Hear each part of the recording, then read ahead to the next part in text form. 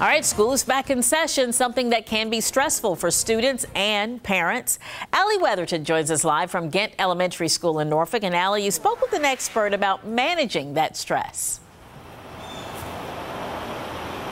Hey Janet, I was able to go inside the elementary school today and kids were having such a good time from doing some reading to writing to learning from the teacher. They were all having a great time. But you know what comes with school?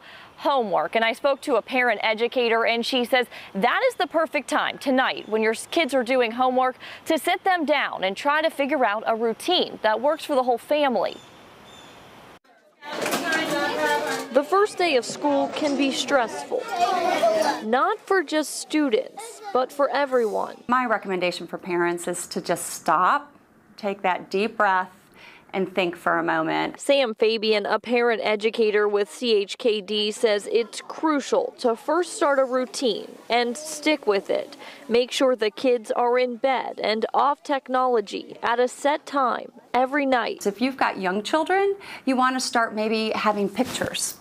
So you have a picture of a clock that says seven, and they and you match it to the clock at the wall, and they know, oh, the picture says I have to go um, brush my teeth. Another piece of advice we've all heard it or done this before. A parent asks, How was your day? And the child says, Fine or okay. Fabian says next time they come home, don't ask that question. Say, hey, what new friend did you meet today? Or hey, who did you sit by at lunchtime? To engage them in a conversation to help normalize what is happening to them now for the rest of the school year. That will help students get in the mindset of having a conversation with their parents. Fabian also says when you get your kids ready for the start of the day, don't be a nagging parent. Instead of saying, go get your knapsack, go get your shoes, stop and say, hey, what do you need to carry your books to school today? And they'll stop and they'll have to stop and think, oh, duh, my knapsack.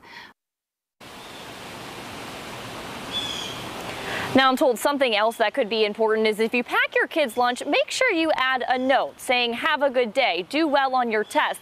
That'll keep them positive throughout the day. Live in Norfolk, Allie Weatherton, 13 News Now.